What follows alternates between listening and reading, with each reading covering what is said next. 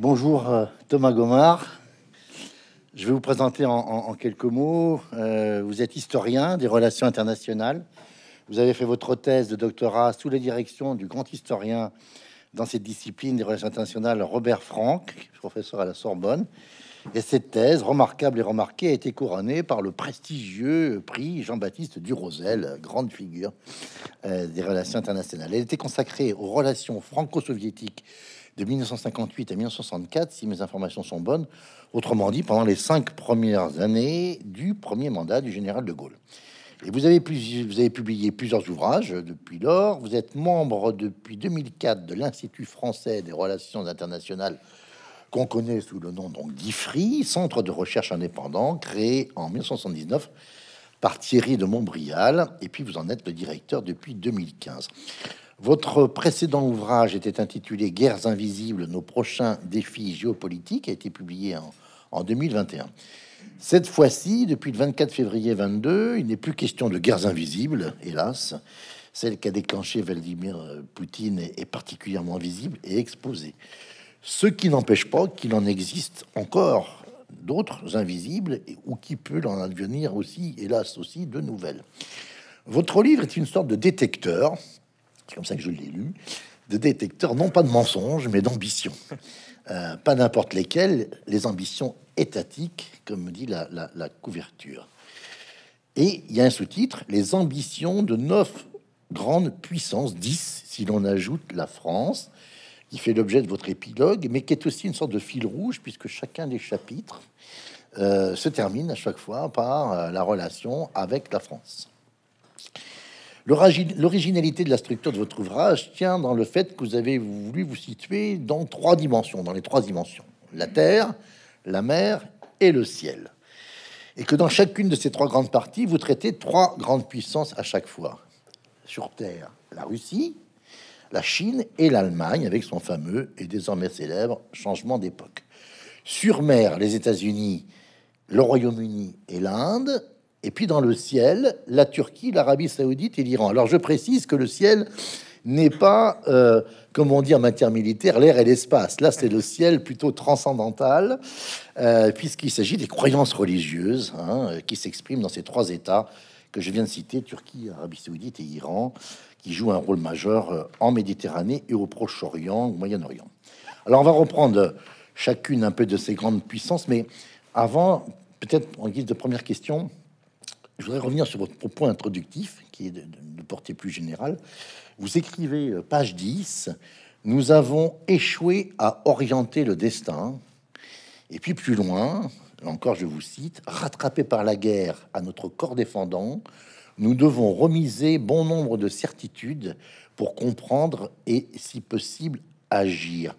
Alors on a le sentiment que, parmi les États européens, la France figure a peut-être figuré parmi les plus naïfs, parmi les plus atteints de cécité stratégique, et parmi ceux qui cherchent le moins à comprendre les ambitions des autres puissances. Et même si je vous ai bien lu, à reconnaître ces puissances parfois justement. Est-ce que je vous ai bien compris? Vous m'avez très bien compris. et merci beaucoup pour euh, d'abord pour euh, cette lecture très précise et merci pour votre invitation, euh, cher Jean. Je suis très heureux de, de participer à cette réunion organisée par librairie Mola. Je suis d'autant plus heureux de le faire que pour tout vous dire, j'ai écrit Les Ambitions inavouées en grande partie à Bordeaux cet été. Voilà. Donc c'est une des raisons pour lesquelles j'ai accepté sans hésiter l'invitation de la librairie Mola puisque euh, nous sommes installés euh, en août avec ma femme et mon fils, euh, pas très loin d'ici. Ils m'ont peu vu. J'ai beaucoup fréquenté la librairie Mola l'après-midi, mais le matin, j'ai essayé de répondre aux consignes exprimées par Nathalie Richer, mon éditrice ici présente, et que je, je salue aussi. Voilà, ça, de la maison Talandier. voilà, de la maison Talandier qui, euh, qui m'encourage depuis euh, la- la- l'affolement du monde. Euh, non, vous m'avez très bien lu et, et merci beaucoup pour, pour cette, à la fois cette introduction qui faisait parfois un peu éloge funèbre, c'était à la limite de l'éloge funèbre, mais euh, je, je, le prends pas mal à ce stade. Euh, non, pour votre lecture très précise, plus, plus sérieusement, oui, nous avons échoué à orienter le destin, si vous voulez, c'est parce que je commence ce livre par euh, une des réunions qui m'a le plus marqué dans le cadre de mes activités à l'IFRI. J'ai rejoint l'IFRI en, en 2004. Comme vous, au départ, je suis universitaire et puis j'ai choisi la voie des, des- du think tank. Et il se trouve qu'en 2005, je m'occupais à l'époque à, l'IFRI de, tout ce qui avait trait à la Russie, ce qui est mon, sujet de, prédilection. Et j'ai été participer à un séminaire à Potsdam qui était présidé par euh, euh, von Weizsäcker, qui était l'ancien président fédéral de la République fédérale allemande, un grand monsieur. Euh, il y avait 26 participants, j'étais le seul français, le plus, j'étais très junior à l'époque, et il y avait des, représentants de l'entourage immédiat du président Poutine, il y avait des Ukrainiens, il y avait des Américains. Et cette, cette réunion a été tout à fait décisive pour moi pour deux raisons. Je le raconte en introduction du livre c'est que le président Van Weizsäcker était euh, francophone. Euh, il m'a appelé un moment en me disant écoutez, je voudrais vous montrer quelque chose. C'était un jeune français qui commençait en histoire, il, s'était renseigné sur mon parcours. Et il m'a emmené voir euh, les archives qui étaient exposées à Potsdam et notamment le plan de démembrement du Reich préparé par la diplomatie britannique en 40, début 45 et en me disant voilà à quoi nous avons échappé et si j'ai une chose à vous dire, voilà, vous commencez votre carrière professionnelle. Moi, je suis évidemment, il est, décédé depuis. Je, suis proche de la fin. Euh, il y a une chose très importante, c'est la réconciliation franco-allemande.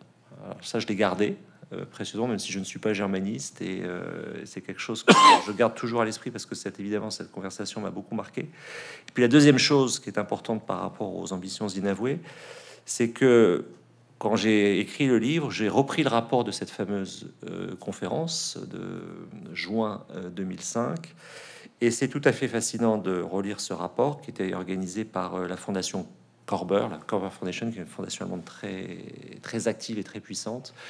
Puisque quand vous relisez les choses, presque 20 ans après, vous avez à la fois les germes d'une possible coopération très étroite et les germes de possibles confrontations directes. Et nous avons échoué à orienter le destin parce que j'ai choisi de faire la Russie euh, à l'IFRI. Euh, j'ai déployé beaucoup de temps professionnel pour nouer des contacts euh, en Russie. J'y ai vécu, j'y ai étudié et en Ukraine. Et je ne pensais pas, très franchement, en 2006, que, un, la Russie aurait une telle centralité, et je ne pensais pas que nous en serions là pour, euh, pour mhm. dire les choses. Et effectivement, il y a, il y a euh, un échec, et à mon avis un échec euh, probablement beaucoup plus lourdement ressenti par la génération de, de Van Weizsäcker, celle qui lui a suivi, mais même pour la mienne. Mhm. Mhm. C'est-à-dire que ma vie professionnelle commence en 2004 à l'IFRI. J'ai noué énormément de contacts et des amitiés en Russie. Euh, qui, euh, pour euh, malheureusement un grand nombre d'entre elles, sont aujourd'hui rompues. Mmh. tout simplement parce que les collègues ou les amis russes ne peuvent, ne peuvent plus ou ne souhaitent plus interagir. Donc oui, nous avons, nous avons échoué. Et ensuite, sur la deuxième partie de votre question, sur la France, sur la France et notre nombrilisme stratégique, il y a, il y a deux choses, un peu sur une veine, vous l'avez compris, je suis pas d'une nature polémique, mais euh, il y, a deux expressions peut-être pour euh, exprimer poliment une forme, dirais-je, de colère. C'est ce que j'appelle le, nombrilisme stratégique, et puis c'est la désinvolture géopolitique. Alors le nombrilisme, le nombrilisme stratégique, je l'ai éprouvé en participant à des travaux prospectifs pour, dans le cadre du ministère des, Armées, et notamment à la revue stratégique qui avait été euh, commandé par euh, le président de la République en 2017, tout juste élu à la ministre des Armées. Et j'avais eu la chance de faire partie euh, du comité de rédaction de, cette revue stratégique avec deux intervenants extérieurs dont j'étais.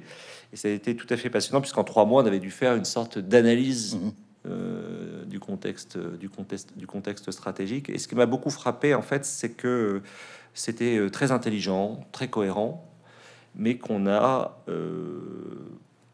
absolument pas passer de temps sur, euh, au fond, euh, qu'est-ce qu'en pensent les autres ou qu'est-ce que les autres ont, mmh. envie de faire. Mmh. Et je considère qu'une stratégie commence à exister lorsqu'elle se heurte à une autre stratégie. Et donc, cette, l'idée, si des ambitions inavouées est née probablement là. Et puis, euh, après l'affolement du monde 2019, après Guerres Invisibles, elle, est, elle est, réapparue de, manière, de manière très nette à l'été 2021. J'ai commencé le livre en novembre 2021 et je l'ai fini en, novembre, en novembre 2022. Et puis la deuxième, la deuxième formule, c'est des désinvolture géopolitique, parce que je crois que nous sortons d'une époque, je dis ça du tout, sans aucun esprit de polémique, mais nous, sortons euh, d'un enseignement des relations internationales qui s'est beaucoup basé sur le transnational, sur euh, le, fait, le fait social comme matrice, au fond, euh, de la vie internationale. certains auteurs considérant au fond que la géopolitique, c'était quelque chose de tout à fait sorti du champ, qui n'avait plus de raison d'être. Et quand on parlait de géopolitique, et comme on fait à l'IFRI, on était souvent taxé un peu d'être des cascaboulons, hein, passez-moi l'expression, mais mmh, très obsédés par les questions militaires. Et ça, pour le coup, je n'y ai euh, sans doute euh, est lié à ma formation d'historien, mais je, n'ai jamais adhéré à ce discours qui est un discours, euh, on va pas rentrer dans un débat académique, mais un peu de politiste par rapport à un, discours d'historien, mais qui a prospéré. Alors d'autant, je, vous interromps, parce que d'autant, je rebondis sur ce que vous dites, parce que page 12, vous écrivez que cette guerre, dont vous parlez de la guerre russo-ukrainienne, hein, apparaît comme anachronique, c'est exactement dans le prolongement de ce que vous dites, à ceux qui faisaient rimer mondialisation avec démilitarisation depuis 1980. Donc ça va bien au-delà, j'allais dire, simplement d'une approche euh, presque théorique, c'est-à-dire les Européens. Hein, euh, elle ne l'est pas du tout pour ceux qui voient le monde à travers la rivalité des puissances, au premier rang desquels les Russes, les Américains et les Chinois. Et là, on voit bien quelque part que ça va bien au-delà du cas de la France. C'est plutôt les Européens, dites-vous, qui ont pensé que la mondialisation était synonyme de démilitarisation. Alors, il, y a, deux choses. La première, c'est qu'effectivement, les Européens, à mon avis, euh, ont commis l'erreur suivante qui était de croire euh, que l'ensemble du monde voulait vivre comme eux. Et la deuxième erreur, c'est aussi de se voir comme une, euh, une bulle dans un environnement stratégique qui se transforme très rapidement à leurs dépens. Et sur un plan personnel, si vous voulez, par rapport à la formation intellectuelle et les choix d'orientation professionnelle, il se trouve que j'appartiens à la, à la dernière génération à avoir fait son service militaire, je suis de la 99-12. Euh, et donc c'était très mal vécu, ne serait-ce à ce moment-là, que de faire son service militaire quand on était jeune universitaire. Voilà. Euh, c'était pas du tout quelque chose de considéré comme naturel. Et moi, ça m'a beaucoup. oui, ça faisait famille, absolument, ce qui n'était pas du tout mon cas. Mais euh, en revanche, j'ai pris ça très au sérieux en réalité. Euh, et ce qui explique d'ailleurs peut-être aussi le choix de l'orientation professionnelle ensuite vers, euh, l'IFRI plutôt euh, vers l'université. Et si vous voulez, ça je l'ai, renforcé par ma pratique de la Russie. C'est-à-dire que j'ai vécu à peu près un an en, pendant mes études en, Russie avec différents séjours. Et ensuite, quand j'ai rejoint l'IFRI, je passais à peu près entre 40 et 60 jours par an en Russie, entre 2004 et, et, et 2010. Et au fond, quand vous êtes en Russie, vous comprenez euh, ce que veut dire la force militaire, la force brute, ce que signifie pour un État euh, les questions stratégiques. Et, ce que j'essaie aussi d'expliquer dans le, dans le livre, c'est que la, formation qui était la mienne, au départ très française, très classique, mais que j'ai éprouvée au sens expérimental du terme, euh, mise à l'épreuve en quelque sorte, à la fois en Russie, avec donc un, une approche géopolitique complètement différente et très déstabilisante quand on est euh, formé au classicisme, euh, mhm. par le classicisme français. Et je l'ai également éprouvé au Royaume-Uni, où euh, là aussi la dimension géopolitique et relations internationales est, probablement beaucoup plus brutale que celle qui est enseignée en France. Et donc, si vous voulez, je dirais c'est sur ces trois matrices, la française, la britannique et la russe, qui euh, m'ont beaucoup encouragé à toujours dire mais euh, voilà, il faut peut-être passer plus de temps, essayer de comprendre ce que les autres ont en tête. Et donc les ambitions, euh, les ambitions inavouées, eh bien c'est un renversement de perspective en disant voilà, je vais essayer de manière synthétique de prendre ces, ces neuf, ces neuf puissances, de parler de puissance, même si c'est un terme qui, qui déplaît, et de proposer ma propre interprétation, c'est-à-dire comment je vois. Euh, comme directeur de l'IFRI, avec euh, les lectures qui sont les miennes, expériences qui sont les miennes. Le, livre est aussi très nourri des multiples contacts et discussions que j'ai en permanence dans le cadre de, de, l'IFRI. Ça, c'est une des grandes chances de, l'IFRI, c'est-à-dire que on rencontre beaucoup, beaucoup de, personnes différentes. Euh, comment, au fond, arriver à proposer au lecteur, si vous voulez, une, une interprétation personnel, alors très critiquable, hein, mais de dire voilà, novembre 2022, je vois le système de contraintes qui s'exerce sur la France par ces neuf puissances de telle manière. Ces neuf pays étant, ayant été choisis fondamentalement pour deux raisons. La première, c'est qu'ils touchent à euh, la dialectique entre euh, où est-ce que je prends de l'énergie et où est-ce que je vends des armes. Mhm. Regardez bien. Et puis la deuxième, c'est évidemment aussi euh, le système de nos alliances versus nos systèmes, notre système de partenaires ou d'adversaires. Alors vous évoquiez dans votre propos l'influence britannique, hein, ce qui est peut-être qui explique aussi que dans cet ensemble européen, encore que euh, le Royaume-Uni, on, connaît son statut à part dans cette, dans cette situation, a peut-être été euh, plus lucide ou plus tôt euh, que d'autres. Mais on, va y, on va y revenir parce que dans votre ouvrage, toujours en introduction, vous dites, et si vous reprenez ça à la fin, il faut faire de la stratégie, il faut faire de l'histoire pour comprendre les choses. Hein. Et vous citez deux, deux, grandes références pour vous, Arnold Toynbee, euh, donc disparu en, 75 à, l'âge de 86 ans. Je rappelle, mais, mais je, parle souvent de contrôle, que son premier travail euh, a été consacré au génocide des Arméniens en 2015-2016. Hein. Euh, je dis ça parce que c'est c'est pas c'est pas rien hein, comme, recherche. et c'est un livre qui est sorti en, en, 2016, en, 1916, que j'ai dit 2015, 2016, en 1916, excusez-moi. Voilà. Euh, et puis le, c'est un test d'attention. oui, merci. Et le, deuxième, c'est le général André Beaufre. Alors lui qui a une histoire extraordinaire hein, quand même. Euh, quand il est jeune officier, il fait la guerre du Rif. Alors cette fois-ci en 1921, je vais pas me tromper. Et, et, puis il termine un grand officier à l'OTAN euh, en, en, 61, 40 ans plus tard. Et qu'est-ce que qu'est-ce que ça vous a apporté ces deux ces deux figures tutélaires, Toynbee d'un côté, Beaufre de l'autre alors, il y, a, dans tout livre, il y a ce qu'on a raté. Que j'ai raté certainement moi dans la lecture. votre lecture est parfaite. Non, non, c'est-à-dire qu'au départ, euh, je voulais incarner, si vous voulez, euh, la terre, la mer et le ciel par une grande figure ah, intellectuelle et stratégique. Bon, et puis mhm. c'était euh, ça sera pour un prochain livre. Ah, euh, mais du coup, je me suis rattaché à ces, à ces deux figures que je fréquente, euh, que je lis très régulièrement depuis, depuis longtemps, pour, pour deux raisons. D'abord, Tonby est une personnalité assez incroyable.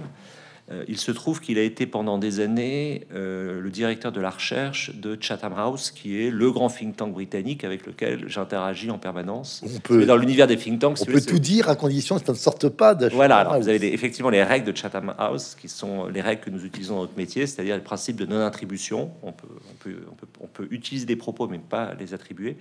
Et euh, Chatham House est l'ancêtre, si vous voulez, et le modèle d'une certaine manière euh, pour, pour l'IFRI, sauf qu'il a été créé d'ailleurs à Paris en 1919. C'est-à-dire que dans le cadre de la conférence de Paris, les Britanniques ont décidé de créer Chatham House, qui ensuite s'est installé à Londres, et les Américains ont créé le Council on Foreign Relations. Bon.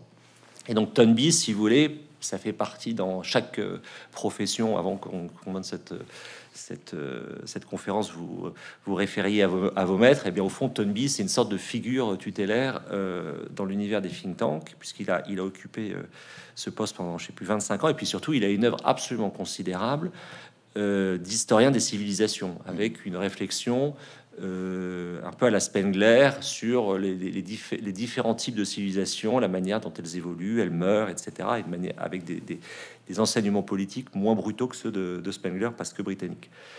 Euh, donc c'est tout à fait intéressant de le relire. Euh, il y a un côté à la fois démodé et extrêmement puissant, je trouve. Et André Beauvre, c'est le contact est un peu différent il se trouve que, euh, après ce fameux service militaire, j'ai enseigné euh, huit ans à l'école spéciale militaire de Saint-Cyr, euh, où, l'endroit détesté par les sous-lieutenants, c'est ce qu'on appelle la DGER, Direction générale de l'enseignement et de la recherche, puisque les enseignants civils dont j'étais sont qualifiés par les élèves de rats pour essayer de, vous représenter l'état d'esprit. Et il se trouve qu'à l'entrée de la DGER, euh, j'avais euh, remarqué une petite plaque sur laquelle les élèves s'essuient les Rangers, euh, commémorative à la mémoire d'André Beaufre. Et donc je connaissais pas André Beaufre. Et puis je me suis, euh, je me suis intéressé à André Boff et j'ai vu que André Boff avait euh, écrit une introduction à la stratégie, laquelle avait été republiée par l'IFRI au début de l'IFRI. Et c'est un texte que je recommande, qui t'empoche, hein, je recommande à tout le monde, parce que c'est un texte d'une concision en 200 pages qui explique au fond ce qu'est un raisonnement stratégique, de manière, dans une écriture très limpide. Euh, et qui dit des choses aussi simples que euh, un raisonnement stratégique, c'est tout simplement une capacité à établir un ordre de priorité. Alors, ça semble évident dit comme ça, mais ça a des implications très lourdes. Il définit la stratégie comme la dialectique des volontés, c'est-à-dire qu'il voit toute relation stratégique comme une dialectique des, volontés. Et puis ensuite, il a aussi des formules euh, indiquant que à chaque situation correspond une stratégie, c'est-à-dire qu'il n'y a pas de en la matière, il n'y a rien de reproductible, il n'y a pas d'habitude à prendre. Au contraire, un effort de discernement euh, consistant à euh, voir chaque situation. Bon. Et évidemment, ça m'a beaucoup aidé pour, pour le livre dans l'état d'esprit que j'ai décrit précédemment, c'est-à-dire de, de, partir du principe, ben, c'est l'interprétation que je donne que j'assume comme tel avec euh, mes biais, euh, euh, mes, mes, préoccupations plus marquées dans un certain domaine que dans d'autres. Je suis très, très, très concentré sur les questions énergie et énergie climat. J'essaie de développer toute cette, toute, cette dimension, mais je le dois en partie, si vous voulez, à cette, à cette idée chez Beaufre de essayer de comprendre chaque situation et euh, de lire la stratégie de l'autre et ensuite d'inventer sa propre stratégie pour l'autre. Et puis effectivement, vous l'avez rappelé, mais peut-être pas le, développer, le, parcours euh, euh, du, général Beaufre est, tout à fait remarquable. Vous avez, rappelé le début et la, et, la, et la fin de sa carrière. Moi, je m'intéresserai au milieu de sa carrière, parce qu'en fait, il participe comme jeune capitaine à la mission franco-britannique qui se rend à Moscou en août 1939 pour essayer de, d'envisager une alliance de revers. Et cette, euh, cette délégation, donc avec de, d'éminentes personnalités, est reçue euh, le 23 août 1939 pour s'entendre dire que euh, l'URSS a signé le pacte, un, pacte célèbre. Voilà. Alors, et donc ce livre, pardon, je, je l'interromps, ce livre, il, a, il, a, il, est chez Perrin, a été republié, s'appelle euh, L'an 40, où euh, le général Beaufort raconte ses souvenirs, c'est un livre absolument remarquable. Alors on entame la, la première partie sur Terre, et, et, je voudrais démarrer par euh, ce, que, ce que vous évoquez, page, page 38, Zbigniew Brzezinski, ancien conseiller pour la sécurité nationale du président Jimmy Carter, entre entre 76 et 80, et dont le livre le plus connu, c'est Le Grand Échiquier, en 97, donc il est plus du tout aux affaires. Euh, et il dit dedans, vous, vous, rapportez ses propos, que sans l'Ukraine, la Russie cesse d'être un empire. Alors il y en a un qui a, j'ai dire, bien compris cette phrase, c'est Poutine. Hein. Euh, et, et, vous, dites aussi, et ça c'est, je crois, un passage très fort, là votre livre démarre euh, sur un, pied élevé, pour autant, vous dites que les grandes puissances occidentales ont beaucoup de mal à comprendre ce que l'historien Timothy Snyder appelle en 2010 en Europe les terres de sang, hein, SANG.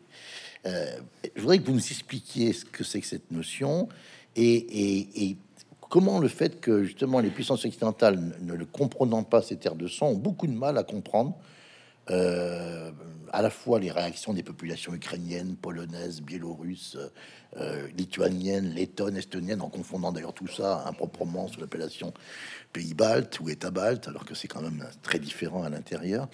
Euh, que, qu'est-ce, qui se passe dans ces terres de sang? Qu'est-ce qui s'est passé aussi? Je, rappelle que nous commémorons les 80 ans, je crois que c'était hier, de l'insurrection du ghetto de Varsovie ou, aujourd'hui hein. C'est une question redoutable parce que c'est une question très complexe, si vous voulez.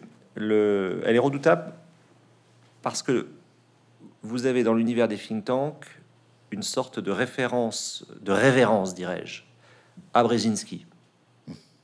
C'est-à-dire que, ah oui, Brzezinski a dit ça en 1997. Et en fait, cet argument consistant à dire à partir du moment où l'Ukraine est séparée de la Russie, s'il y a un endroit où il a été lu et compris, c'est à Moscou. Et je rappelle d'ailleurs dans le livre, ça, ça va été euh, rapporté par euh, des entretiens, que dans l'équivalent russe du là où on forme les généraux russes, dans la bibliothèque de cet endroit, il y a quatre livres traduits. quatre livres étrangers traduits, dont Brzezinski. Et je pense que Brzezinski écrit dans un contexte très particulier. Il a été aussi, il a joué un rôle tout à fait décisif comme euh, dans ce réarmement euh, idéologique américain des années 70, des années 60, des années 70, euh, contre le communisme. Il était d'origine polonaise. et effectivement, c'est une référence presque obligée dans l'univers des think tanks et une référence à mes yeux trompeuse. Alors moi j'ai lu Brzezinski dans mes premières dans mes premières années et je pense que j'ai fait j'ai été victime de ce que j'essaie d'expliquer dans le livre un peu plus loin, euh, de ce que j'appelle euh, le problème russe de la France, qui a mhm. différentes composantes, dont l'un d'entre eux est une lecture très grand russe de l'histoire européenne. Et d'une certaine manière, Brzezinski, qui n'est pas un historien, mais un, comment dirais-je, oui, un politiste, à la fois un, très grand universitaire ayant eu une expérience, comme c'est possible aux États-Unis, euh, de gouvernement au plus haut niveau, euh, n'est pas contribue, alimente d'une certaine manière cette, cette, cette, vision très grand russe. Et je dois dire qu'à titre personnel, la lecture du livre de Snyder, euh, Terre de sang, a été un choc euh, intellectuel et m'a conduit à modifier mon regard de la Russie. Mmh. et de ses pays. Alors, ces terres de sang, c'est pour faire simple, la bande de pays entre la Baltique et la mer Noire, qui sont les grands brûlés euh, du XXe siècle, puisque euh, ils ont eu à la fois euh, le nazisme et le soviétisme. et donc Snyder explique que c'est 14 millions de morts, en particulier en Ukraine, puisque c'est quelque chose là, là aussi qu'on a qu'on redécouvre avec cette, avec cette guerre d'Ukraine, mais qui était peu enseigné et d'une certaine manière peu connu. C'est-à-dire que quand vous parliez de l'Ukraine avant euh, on va dire avant 2014. Euh, au fond, personne connaissait euh, l'Holodomor. Oui, enfin, voilà, personne connaissait l'Holodomor, ou très peu de personnes. Et puis, vous êtes, vous êtes très vite en France dans une, dans une lecture où, entre Berlin et Moscou, au fond, il n'y a pas grand-chose. Mm. puis oui, au fond, l'Ukraine, bah, ça parle russe, donc c'est le, le, le, monde russe.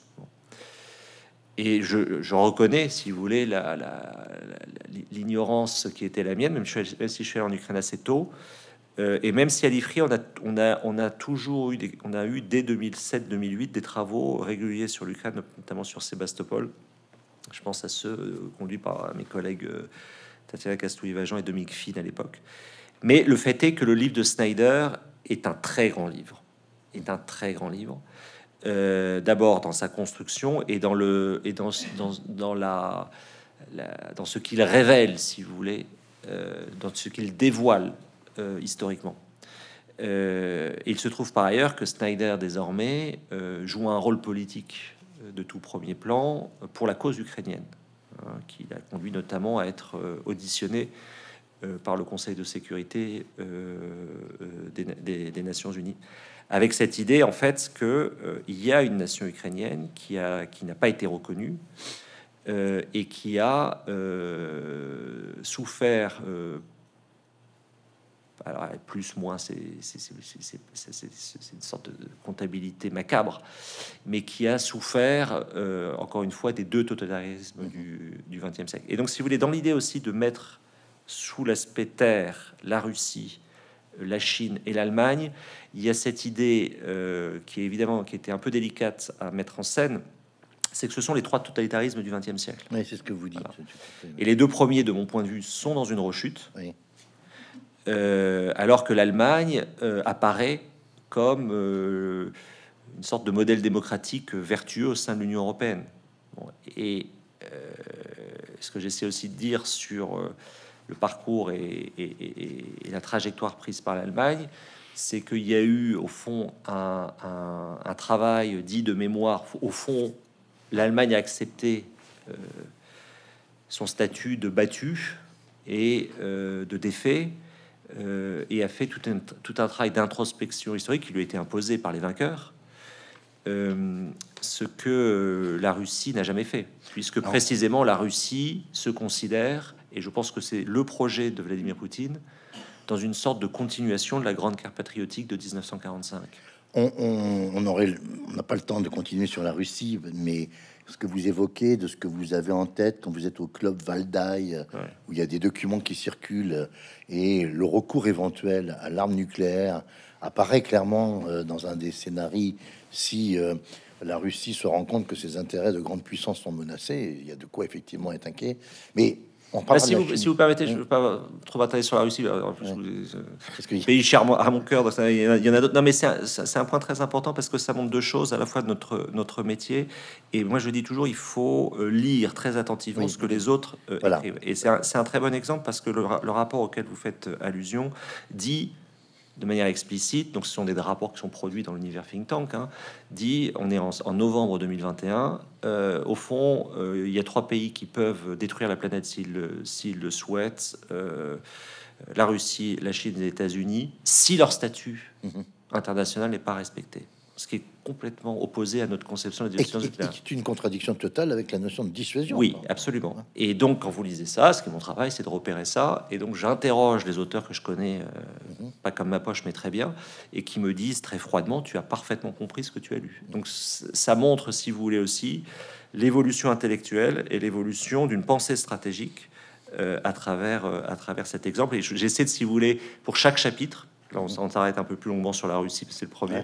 Et sur chaque chapitre, de mettre en écho à la fois les lectures et puis des discussions de cette nature. Alors, vous, vous avez commencé, hein, vous avez évoqué l'Allemagne, on reviendra sur la Chine, troisième État sur Terre, si je puis dire, dans votre, dans votre partie.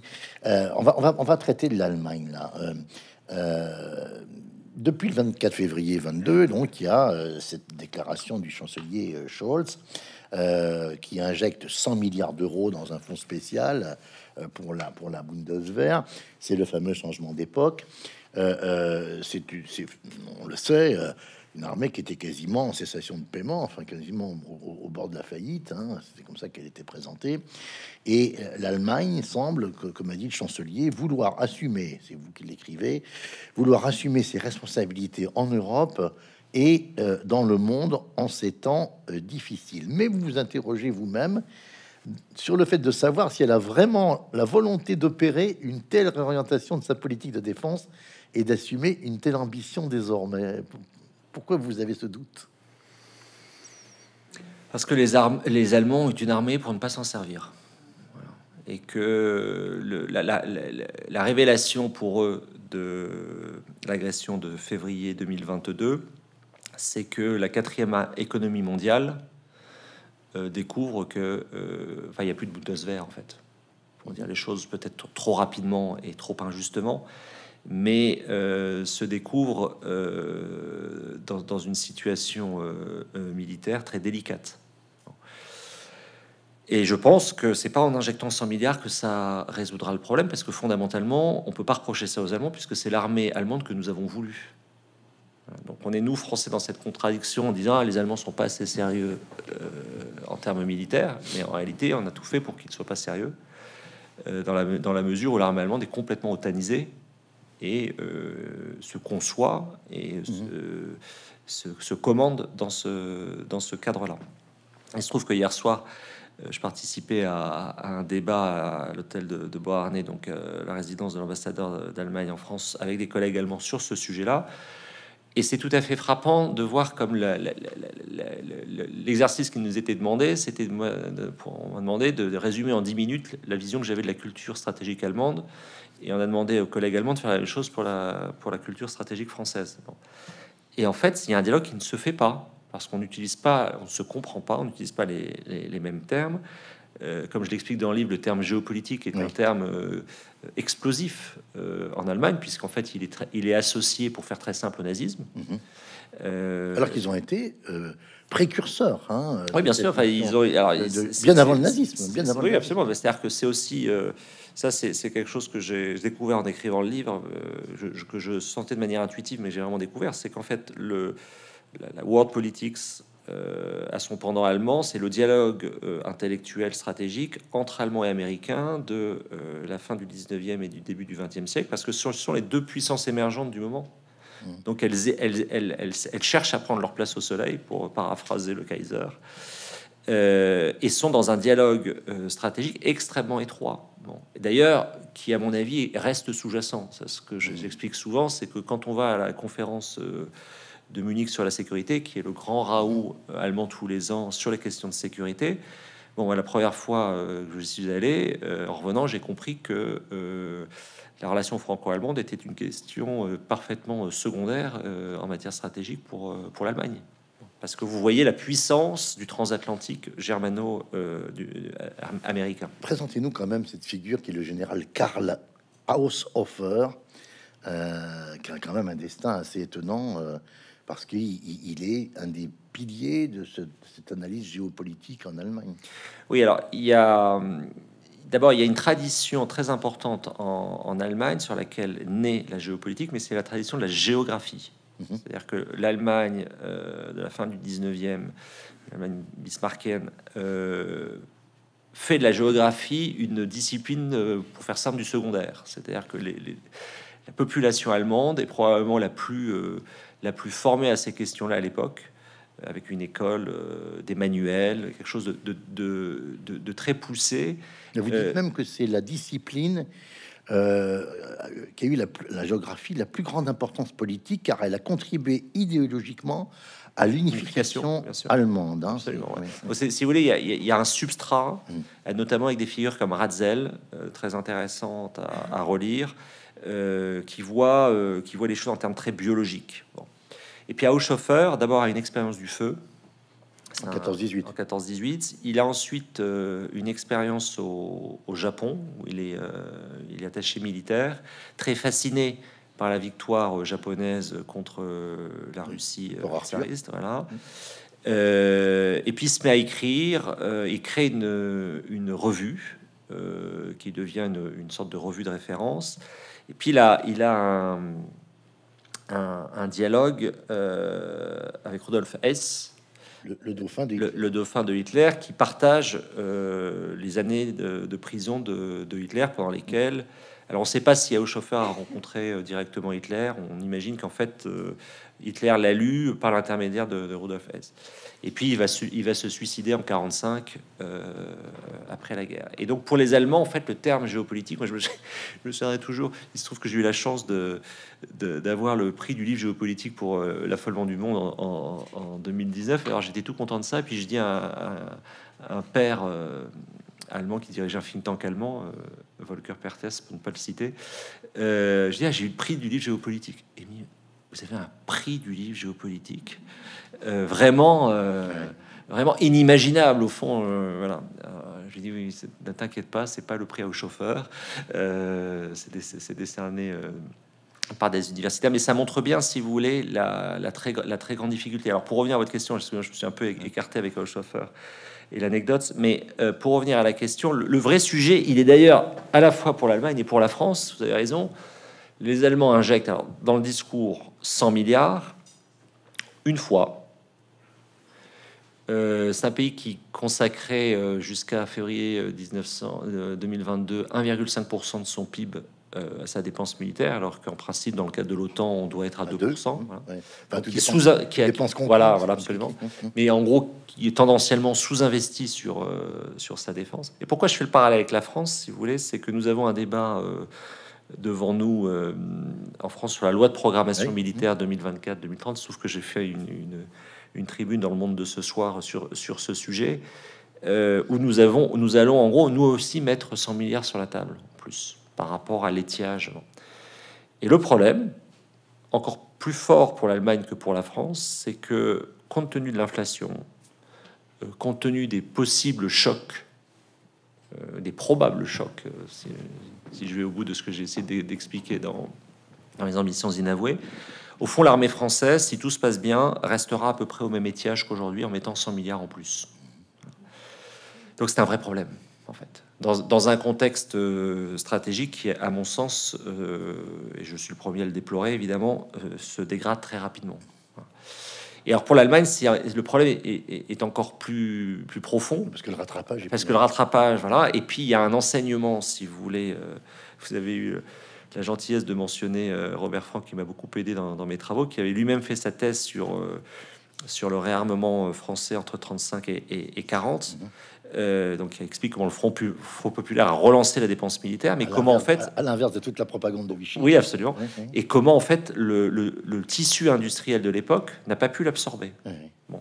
Et il y a une, il y a une, une sorte d'enseignement qu'on voilà, qu'on est en train de redécouvrir à nos dépens, c'est que vous ne rattrapez jamais en période de crise aiguë, un désarmement structurel. Et c'est aujourd'hui le problème des Européens. Parce que la BITD, quelque part, est en panne, elle repart pas, c'est ça? Ben, C'est pas qu'elle repart pas, mais elle, elle, elle, elle a d'abord des capacités euh, d'absorption qui sont euh, euh, limitées. Vous êtes sur maintenant des, des matériels très sophistiqués. Et alors, il y, a des, il y a des progrès hein, qui sont faits. On est en train de réapprendre à faire quand je dis progrès, entendons-nous hein. les obus, les, obus, comme ça. Mais euh, euh, c'est, si vous voulez, vous, on est en train de sortir d'un cycle historique où les Européens en tendance ont commencé à désarmer au début des années 70. à l'époque, on est à 3% de 3 ou 4%, entre 3 et 4% de PIB de dépenses militaires pour un pays comme la France. On continue à désarmer après le 11 septembre 2001, alors que tous les autres grands acteurs stratégiques, États-Unis, Chine, Russie, Arabie Saoudite, Turquie, Inde, réarmés massivement. Donc en fait, on est à deux générations de désarmement euh, contre des acteurs qui sont à une génération de réarmement. Et bien ces tendances-là, vous ne pouvez pas, vous pouvez dire j'injecte 100 euh, millions comme le fait 100 euh, milliards pardon comme le fait le chancelier Scholz. c'est pas pour ça que vous allez acquérir une crédibilité militaire suffisamment dissuasive pour faire en sorte que Vladimir Poutine euh, sorte d'Ukraine. J'aurais voulu vous interroger sur cette phrase très importante euh, euh, que vous, êtes, vous écrivez page 112 sur le propos du changement d'époque et sur les, relations au sein du couple franco-allemand. Je la cite, hein. notre pays doit prendre acte du fait que l'Allemagne est plus importante pour lui qu'il ne l'est pour elle. Phrase complexe, hein, mais qui dit bien ce que ça veut dire quelque part. Euh, on compte très peu finalement. Hein, euh, euh, mais on va passer aux États-Unis. C'est juste dire qu'en fait, on a décroché économiquement une génération avec l'Allemagne et que la, croissance allemande a toujours été supérieure à la croissance française depuis, mm. depuis 2000. Mais on va on peut, on peut passer sur la mer. Hein. On va, on parler de la Chine, c'est dommage parce que c'est essentiel, mais les lecteurs se reporteront à, votre livre. Et puis de toute façon, comme on va parler des États-Unis, forcément, on va aussi parler de la Chine, tout ça étant totalement euh, euh, imbriqué. Euh, sur, les, sur, la mer, vous commencez par l'évocation de, de, l'hymne des Marines Corps. Alors ça paraît surprenant, créé à la fin du XVIIIe siècle, dont l'hymne commence par des palais de Montezuma aux rives de Mexico. Hein, et, vous soulignez que les États-Unis ont gagné en 45 le grand combat naval global, mais que désormais l'idée de l'amiral Alfred Mann, selon laquelle la puissance nationale, la grandeur et la sécurité ne sont que les résultats d'une force navale massive, ne suffit plus. Il faut désormais repenser la puissance navale en fonction notamment des progrès balistiques et spatiaux. Alors, les États-Unis pays continent euh, avec deux rives étonnantes, hein, l'Atlantique et le Pacifique. Euh, est-ce que vous diriez que c'est la puissance navale encore de la suprématie navale? Alors, une autre manière de, reformuler votre question et de faire le lien avec la Chine qu'on ne peut pas traiter, c'est la, grande question géostratégique, si vous voulez, du moment, c'est est-ce que la Chine va réussir ce que François Gipoulou appelle son basculement thalassocratique, voilà. son passage à la mer? L'assaut politique ou thalassocratique, hein, puisque c'est la notion que. Donc c'est tout l'enjeu de Taïwan, c'est-à-dire euh, comment en fait la Chine sort de mer de Chine, accède euh, à la haute mer, euh, que ce soit par le sud ou que ce soit par le nord vers l'Arctique. Et la question qu'on ne se pose pas encore, enfin que je soulève dans, le livre, c'est quand est-ce qu'on aura au fond des bateaux chinois au large de Brest, ou quand est-ce que on sera, on aura pris conscience de l'inversion historique entre le Portugal qui part se connecter à l'économie asiatique au XVe siècle et euh, des investissements chinois dans les ports grecs aujourd'hui, portugais demain. C'est le grand sujet en fait. Euh, alors, du coup, pour les États-Unis, c'est euh, la, particularité, si vous voulez, la, continuité entre la domination britannique et la, domination américaine, c'est le sea power, c'est-à-dire cette capacité en fait à dire il vaut mieux être capable de se projeter, de maîtriser la mer, de maîtriser les flux. Et ça, ça se traduit aussi dans des conceptions, à mon avis, du capitalisme différentes, c'est-à-dire au fond un capitalisme anglo-américain basé sur la rotation des flux, euh, sur la rapidité de, rotation des flux, versus un capitalisme continental davantage basé sur l'épargne, de type euh, franco-allemand euh, notamment. Donc ça va assez loin en fait. Cette, mmh, mmh. cette, ça va même très loin dans le sens où, vous l'avez rappelé, les États-Unis ont deux façades océaniques, sont désormais autosuffisants euh, dans le domaine énergétique mhm. pour le pétrole et pour le gaz sont exportateurs nets. Ça, c'est un changement absolument majeur qui, qui est intervenu au, pendant les, les, années 2000.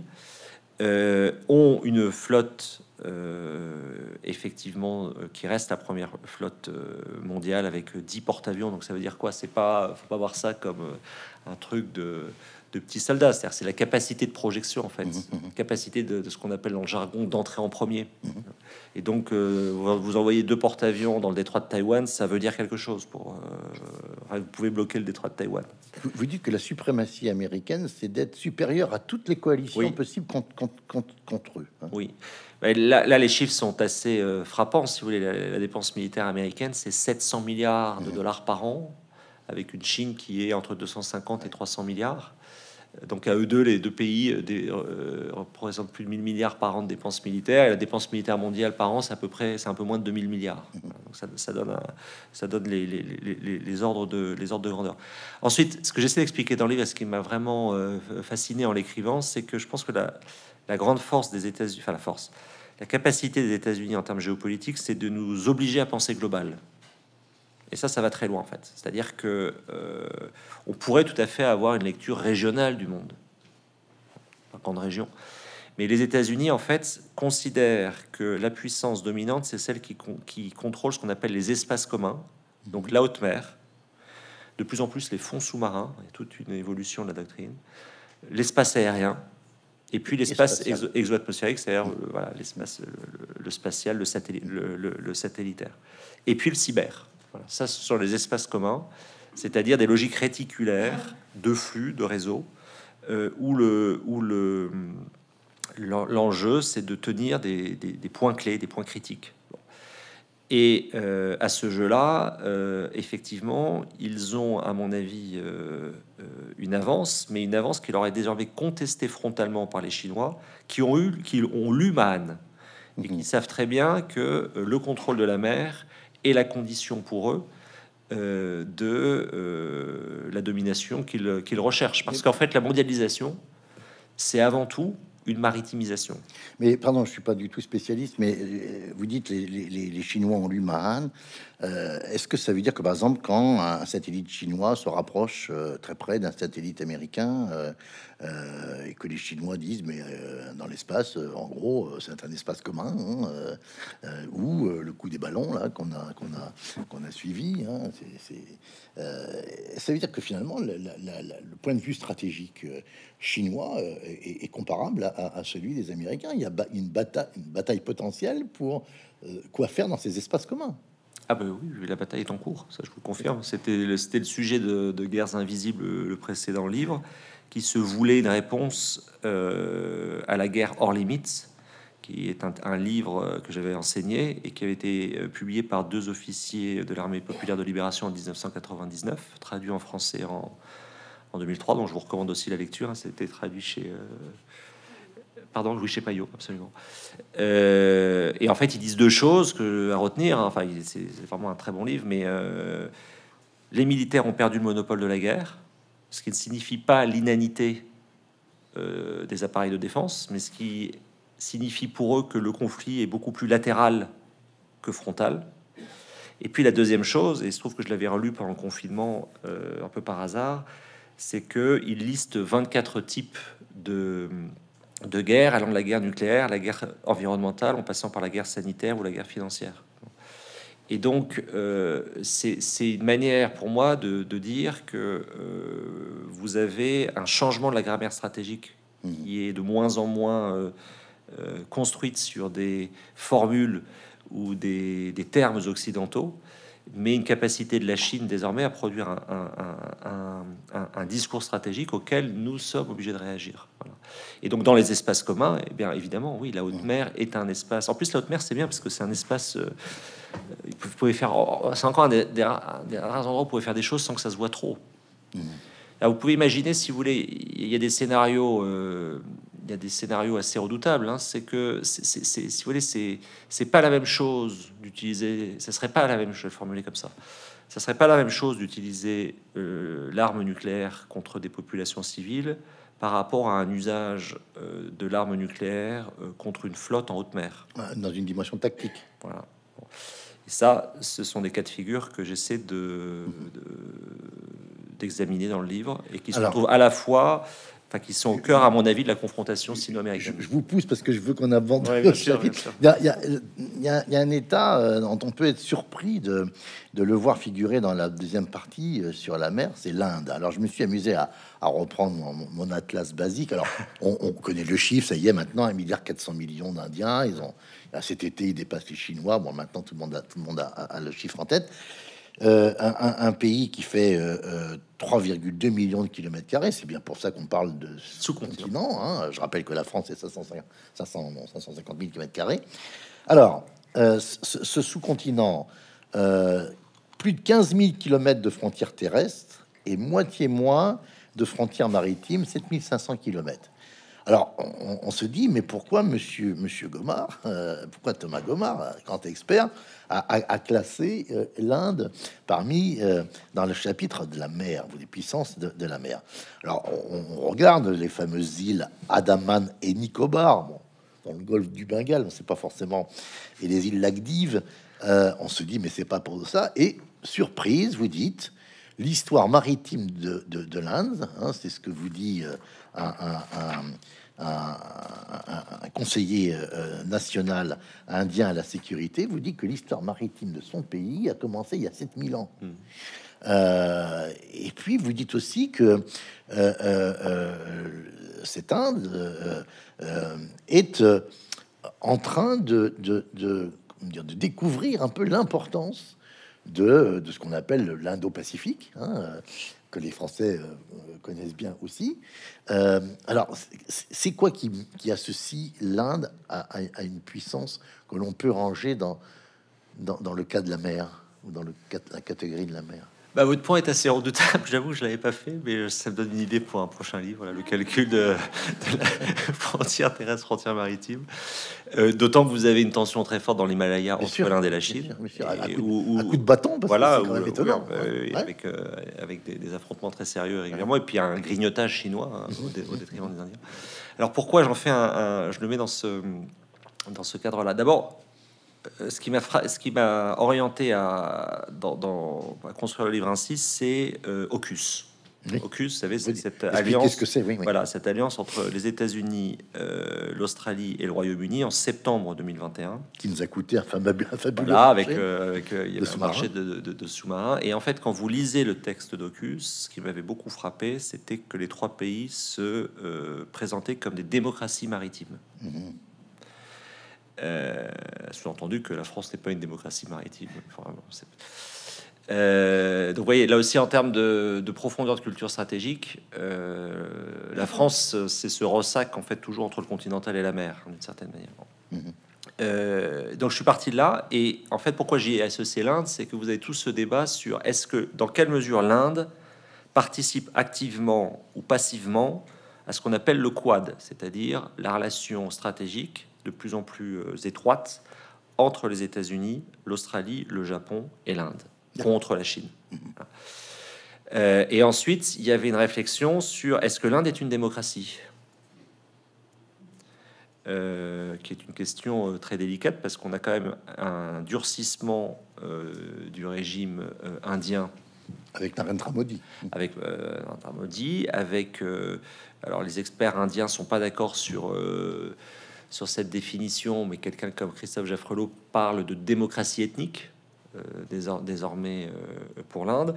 Et en fait, on sait bien que ce qu'on présente souvent comme la plus grande démocratie du monde, c'est beaucoup, beaucoup plus complexe euh, et qu'il y a des formes d'autoritarisme de plus en plus visibles Mhm. avec, avec un pays qui, en même temps, sur le plan diplomatique, est, à mon avis, insuffisamment étudié. C'est-à-dire que l'Inde se présente désormais comme souhaitant le multi-alignement.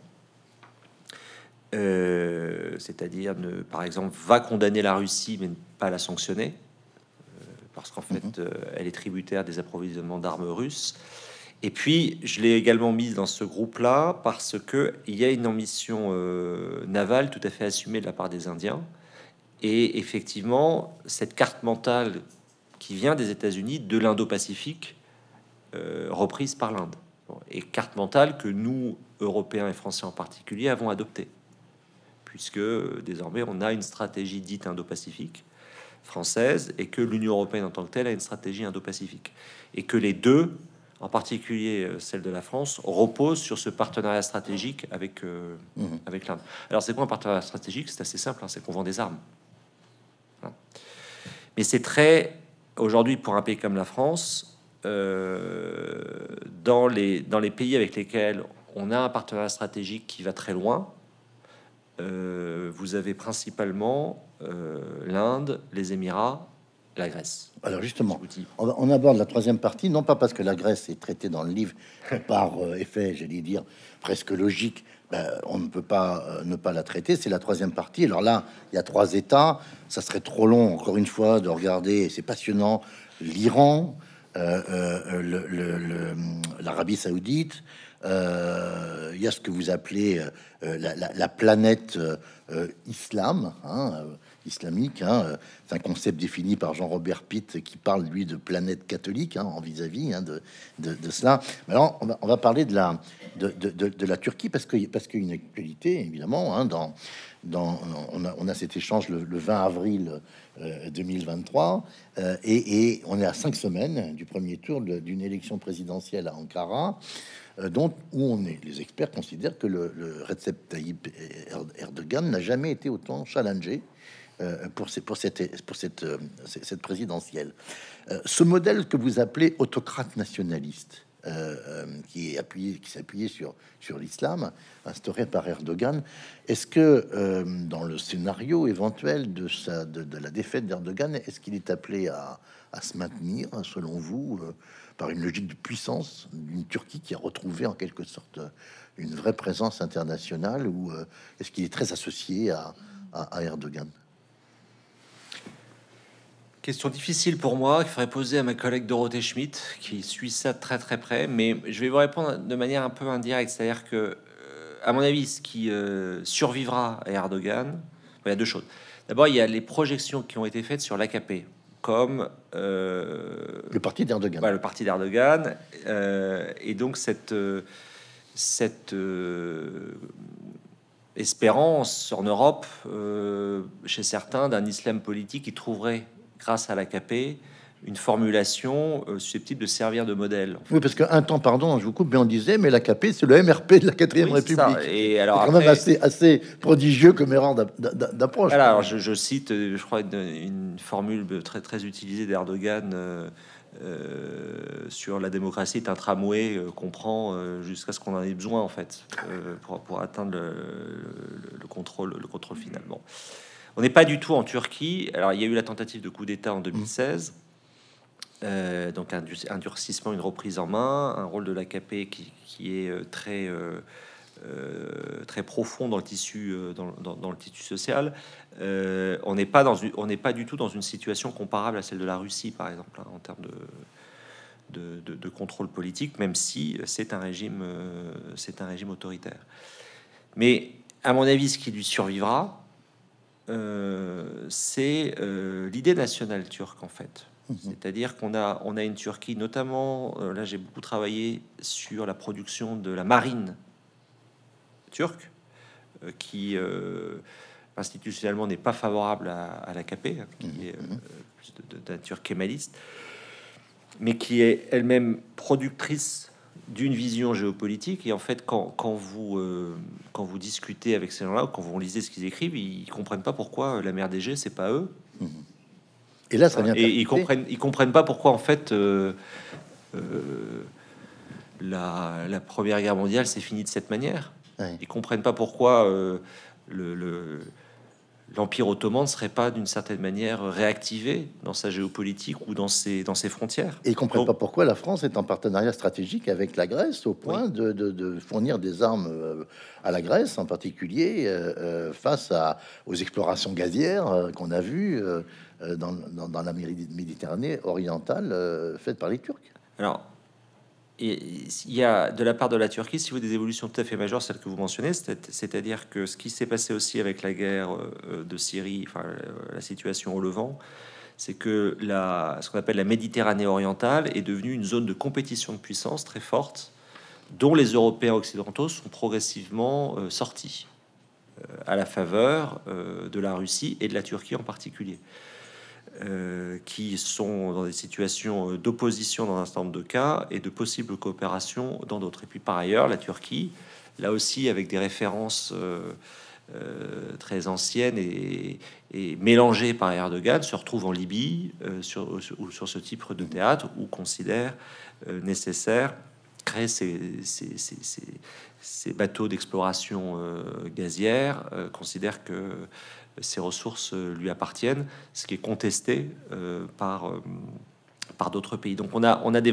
on a des problèmes, je parle même pas de Chypre, etc. On a des problèmes, Mhm. euh, je dirais, géopolitiques très classiques avec la Turquie. Mais ce qui est, ce qui est très intéressant, je trouve, avec Erdogan, ce sont les, les, la manière, et c'est quelque chose qu'on observe euh, dans tous les, les- les régimes politiques, mais pour les régimes autoritaires de manière plus marquée, dont l'histoire est, est instrumentalisée en fait.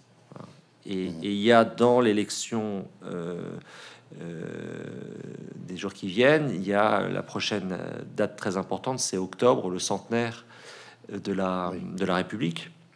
Évidemment, pour, euh, pour Erdogan, la manière dont il se voit, dont il voit son inscription dans l'histoire de la Turquie par rapport celle de euh, par rapport à celle euh, euh, à celle d'Atatürk. L'autre point très important est passé inaperçu jusqu'à d'une certaine manière la guerre d'Ukraine, c'est que vous avez des ambitions euh, tout à fait exprimées par la Turquie dans le domaine militaire pour devenir elle-même productrice d'armes. Oui. Et par exemple, la Turquie a développé ce qu'on appelle une diplomatie du drone parce qu'elle a su construire très vite une industrie du drone extrêmement euh, performante qui équipe euh, beaucoup d'armées, qui a d'ailleurs équipé l'armée ukrainienne euh, à- entre 2014 euh, et, et- et 2022. Et donc il y a eu aussi une, une volonté turque, si vous voulez, de monter en gamme, c'est-à-dire de bien comprendre que pour être une politique de puissance, quand on n'a pas l'arme nucléaire, il faut être capable euh, d'être pris au sérieux en matière euh, militaire conventionnelle. Euh, d'où l'investissement sur les drones, d'où l'investissement sur des porte-aéronefs, etc. Et donc euh, ça, c'est annonciateur, euh, où ça rend, ça rend crédible euh, un discours ambitieux en matière stratégique. Dernière question, parce qu'on va se faire tirer les oreilles avant de donner la, parole euh, au public. Le- euh, dans votre épilogue, vous, vous revenez sur les quatre raisons qui ont fait, selon vous, pour la France, en France, euh, que la France s'est trompée ou n'a pas compris euh, ce qui s'est passé en, Ukraine. hein. Euh, donc, on- je laisse le lecteur prendre connaissance des trois premières. La quatrième, c'est ce que vous appelez le problème russe de la France. hein. On en a déjà parlé un, petit peu tout à l'heure. Et vous dites qu'il a en particulier pour doctrine l'anti-américanisme. hein.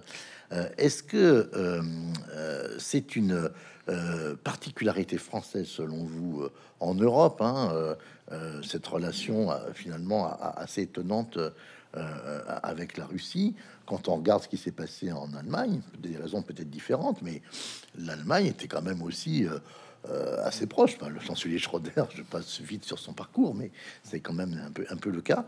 Est-ce qu'il est qu'il y a plus en France de personnalités individuelles pro-russes qu'ailleurs, à votre avis?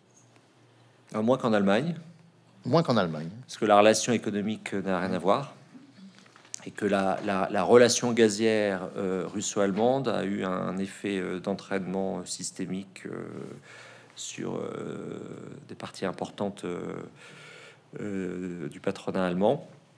Donc c'est d'une nature différente en France, c'est une nature plus intellectuelle. Le problème russe de la France, si vous voulez, il, il s'explique pas. En fait, quand on parle de la Russie en France, bien souvent directement on parle des États-Unis, et donc ça permet de euh, de relier. On l'a vu lors de la dernière campagne présidentielle, si vous voulez, des, candidats comme Marine Le Pen, euh, Éric Zemmour ou Jean-Luc Mélenchon ont, eu, ont toujours eu un discours, on va dire, euh, très compréhensif à l'égard de la, de, la Russie, mais même si on se reporte à, 2000, à 2017, quelqu'un comme François Fillon était aussi sur, mhm. sur, sur, cette ligne-là. Je pense que c'est ça s'explique par cette raison, et puis une autre raison qui est la lecture partielle et partielle que nous avons du gaullisme. C'est-à-dire qu'on n'arrive pas à dépasser la référence gaulliste en matière de politique étrangère.